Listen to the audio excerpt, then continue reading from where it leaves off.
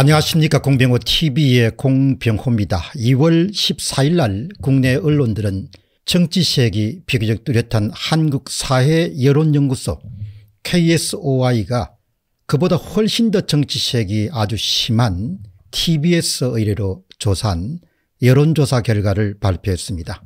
윤석열 43.5% 이재명 40.4% 적폐 수사 발언에 격차가 줄어들었다.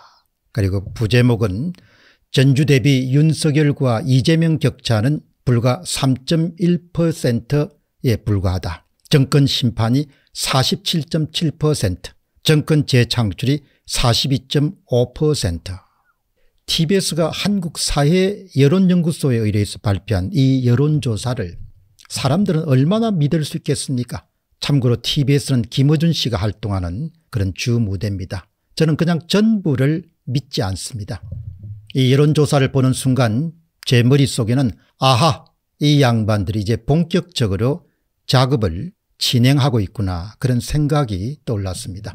어떻게든지 자신들이 원하는 방향대로 3구 대선의 선거 결과를 만들어내리는 사람들이 지금 가장 역점을 두는 것이 무엇이겠습니까 제가 한번 가만히 생각해 보니까 선거 결과를 조작하더라도 그다지 표가 나지 않는 아주 자연스럽게 일반 국민들이 받아들이도록 만드는 일일 것입니다. 이것을 위해서 필수적인 것이 바로 선거를 앞둔 시점까지 여론조사의 적극적인 협력과 협조를 얻어내는 것입니다. 그러니까 일반 국민들에게 자신들이 만들어내는 선거 결과를 받아들이도록 하는 일종의 쇠뇌 작업을 시키는 수단이자 도구가 현재 대한민국의 여론조사다 그런 생각을 저는 하고 있습니다. 본래 여론조사라는 것은 사람들의 선호도를 있는 그대로 조사하는 것입니다. 그러나 지금 대한민국에서 여론조사라는 것은 원하는 선거 결과를 특정 그룹이 만들더라도 사람들이 이 결과를 거부감 갖지 않고 자연스럽게 받아들이도록 만드는 일종의 세뇌 자금용 도구이자 수단으로 그렇게 악용되고 있습니다. 선거일까지 마치 작전하듯이 진행되는 한국의 여론조사에 대해서 비슷한 의견을 가진 분들이 많습니다. 민경욱 전 의원이자 국토본 상임대표는 기자 좌석 구두 사건으로 이제 완전히 역전되었다 이렇게 할 것입니다. 아마 그럴 것입니다. 그러니까 윤석열 후보의 적폐청산 발언을 기점으로 해서 이재명 후보의 지지율이 상승세로 반전했다가 그 다음에 기차 구두끈으로 완전히 역전되기 시작했다. 이렇게 언론들이 크게 떠들도록 그렇게 유도할 것으로 봅니다. 유튜브 채널 버요엔의 김미영 원장은 한 걸음 더 나아가서 조작과 뇌피셜의 시간이 찾아왔습니다. 조작의 시간이 찾아왔습니다. 뇌피셜의 시간이 찾아왔습니다. 이렇게 좀 가혹한 논평을 하고 있습니다. 저의 논평은 다음과 같습니다.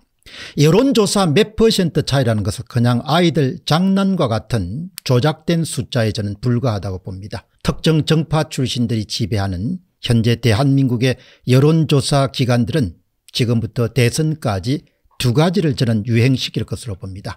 처음에는 엎치락 뒤치락 손에 땀을 쥐는 성부가 진행되고 있다. 그러다가 점점 윤석열 후보와 이재명 후보의 격차가 줄어드는 그런 모양새를 만들 것입니다.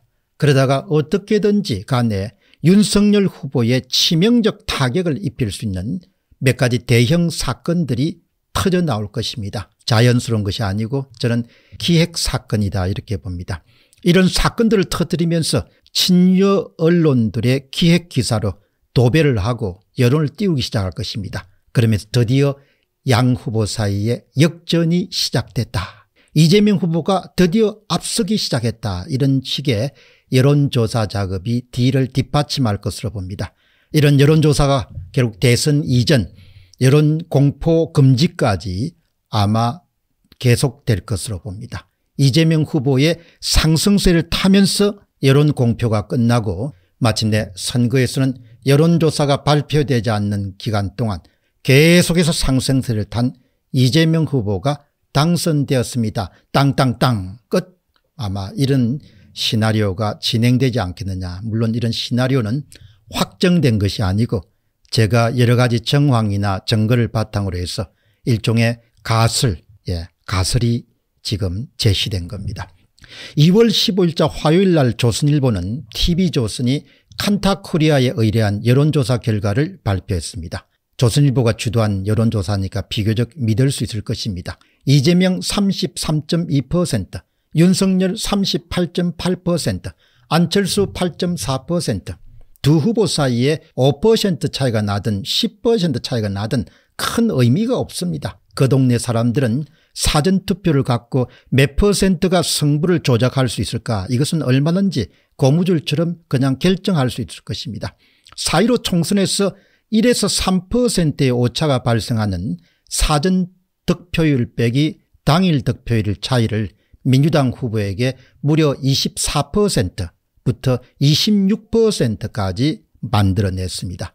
24%나 26% 차이만큼 조작을 한 것에 저는 해당한다고 봅니다. 결국 무슨 이야기인가 하니까 사전투표에 손을 대면 속수무책이라는 것입니다.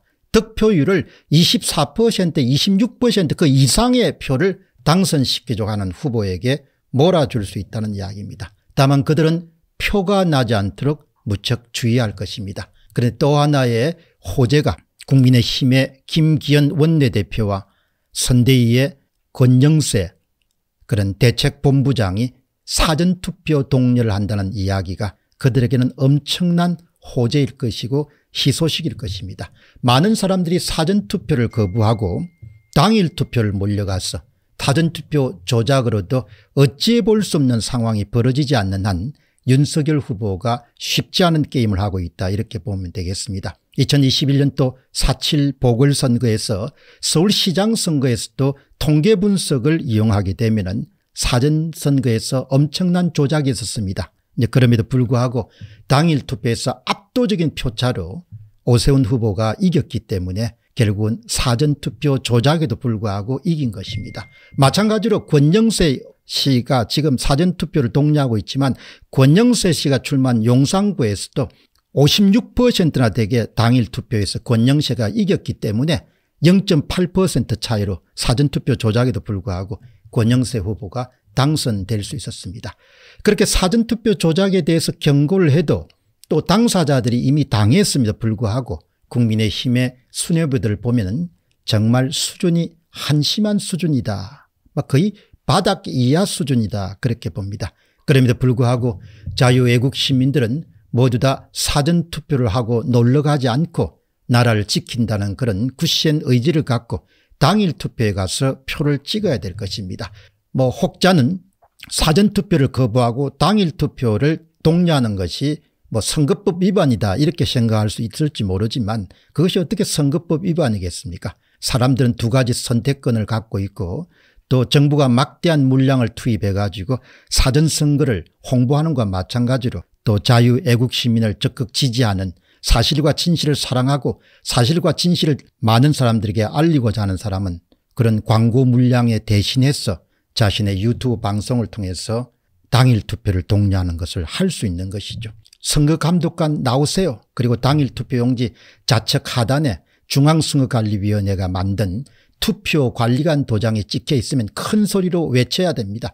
선거감독관 당장 나오세요. 이것은 공직선거법 위반입니다. 당장 투표관리관 개인 도장을 찍은 진짜 당일 투표용지를 저에게 교부해 주시기 바랍니다. 이렇게 요구해야 되는 것이죠. 국민들이 주인인 나라가 우리 헌법 질서입니다. 국민들이 종이나 노예가 아닙니다. 국민들은 공직선거법을 위반한 투표관리관이 있으면 당당하게 투표 선거감독관에게 요구해야 됩니다. 여기에 투표관리관 도장이 제대로 개인 도장이 찍힌 그런 투표용지를 교부해 주시기 바랍니다. 이렇게 요구해야 되는 겁니다. 전혀 선관위를 믿을 수 없는 세상이 됐습니다.